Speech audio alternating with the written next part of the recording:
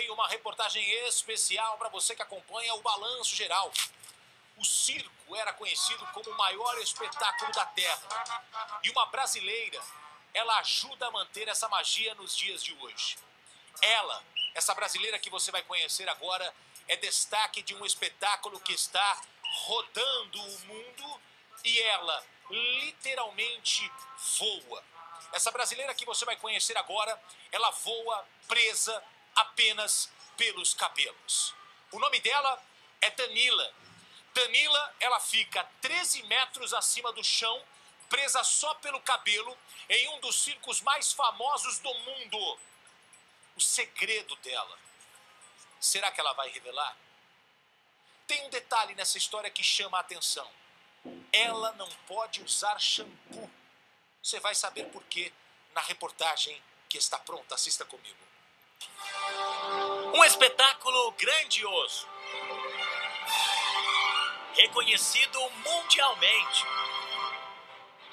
Entre os artistas de mais de 20 países que integram o espetáculo Volta, uma brasileira chama a atenção por misturar, numa mesma apresentação, a arte circense da suspensão pelo cabelo e a leveza dos movimentos do balé clássico. Não, não sei se é um truque banal.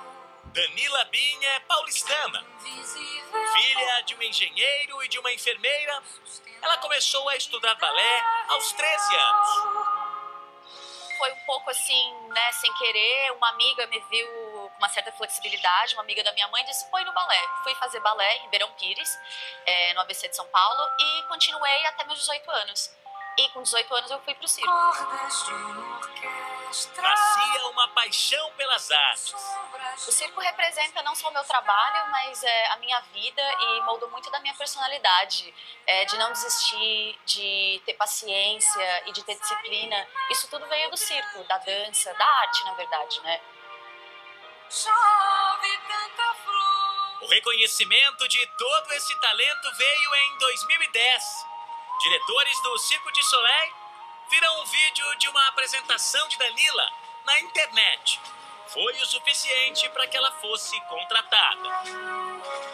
Especial pelo fato de que para entrar para essa companhia, você sabe que o seu nível técnico tem que estar muito bom, porque é- é- eles têm uma exigência muito grande tecnicamente, artisticamente. Então eu me senti muito feliz que meu trabalho, todos os meus esforços, todos os meus treinos tinham chegado a algum lugar.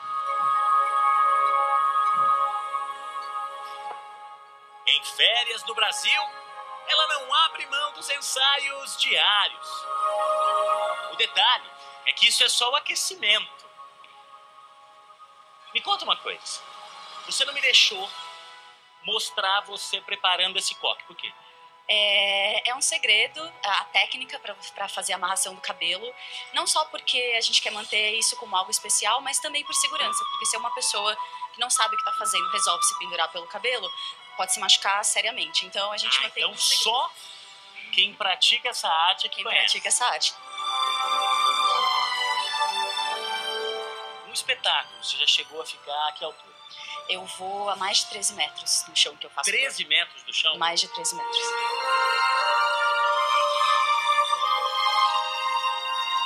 Olhando assim, até parece fácil. Mas se pendurar pelos cabelos e ainda fazer movimentos tão perfeitos, exige muita técnica.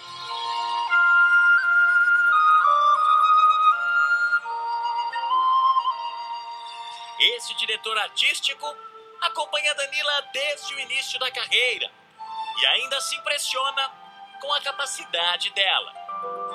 A Danila é única, né? Isso aqui é uma... Essa mulher é maravilhosa, tem uma disciplina, assim, que é incrível. Por, por isso, que, por isso que ela é o que é, né? Eu acho que as artes vêm se somando, né? Cada vez mais. E eu acho que a Danila juntou muito bem no número dela, você, você assiste a apresentação dela, a suavidade que ela tem de movimento, como ela liga os movimentos, né?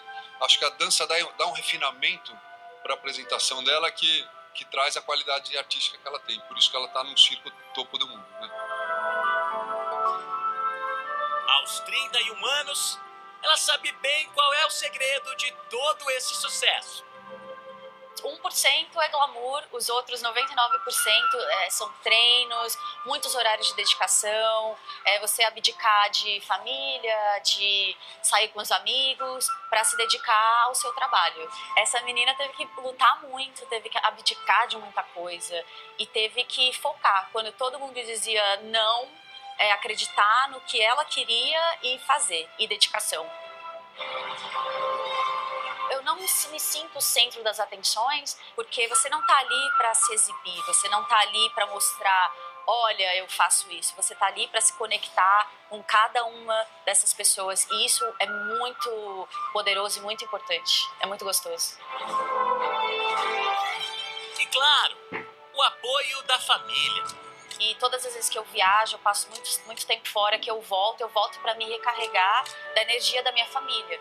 Porque sem eles, eu não teria conseguido o que eu consegui. Largar a sua casa, largar a sua família, com a sua mãe te dizendo, chorando, mas te dizendo, vai.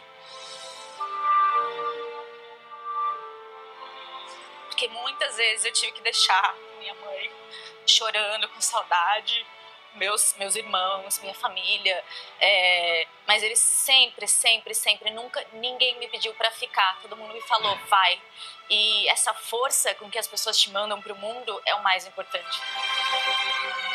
Você vai ouvir muitos nãos na sua vida, mas se você parar no primeiro não, você nunca vai ouvir um sim. O novo espetáculo do Circo de Soleil, com a participação da brasileira já foi apresentado no Canadá. E agora segue em turnê pelos Estados Unidos. Ainda não há data para que ele chegue ao Brasil. Calma que Danila tem um segredo. Como é que ela consegue prender e fazer aquilo no cabelo? Aquilo não é para qualquer um. Danila, a brasileira que saiu de Ribeirão Pires para o mundo. É uma das mais belas reportagens que nós já mostramos aqui no Balanço Geral. Que sucesso essa menina faz, que talento. E ela tem um segredo. Será que ela vai revelar? Você acha que ela vai revelar, Fabiola? Eu acho o segredo que não. De... Como é que ela faz isso no cabelo? Eu acho que não, mas ela podia ensinar algum truque pro Lombardi. Lom, Lom, não, Lombardi não vai poder fazer esse truque nunca. Mas, ô Lombardi, você acha que ela vai revelar ou não? Eu acho que não. Não. Então eu já vou colocar a parte final dessa reportagem com o nosso querido Juliano Marcos, que conta histórias como ninguém. Agora a parte final da reportagem da Danila, a menina que saiu de Ribeirão Pires para brilhar no Circo de Solé com um espetáculo único, com os cabelos 13 metros de altura. Ela faz isso com excelência. Veja a parte final da reportagem. Agora, antes de terminar, eu tenho que perguntar aquilo que você, minha amiga, tá doida para saber desde o começo da reportagem. Como é que você consegue ter os fios tão fortes? Então, na verdade, o cabelo, como as unhas, como a nossa saúde, é tudo um reflexo da, sua, da, da, do, da alimentação, do que você come, se você descansa, é, dormindo direito, descansando. O, o, o, cabelo é um reflexo de tudo isso. Quer dizer, é, é saúde mesmo? É saúde. Eu não uso shampoo, na verdade. Você não é, usa shampoo? Eu não uso shampoo. Condicionador? Eu uso um creme, de, assim, né, às vezes, mas eu não uso shampoo. Mas shampoo. é um creme especial? Não. Então, ó, minha amiga, antes de reclamar do seu cabelo, de brigar com o seu cabeleireiro, para de comer besteira, é coisa melhor. Muita fruta, muita comida, nada que venha de caixa, esse é o segredo.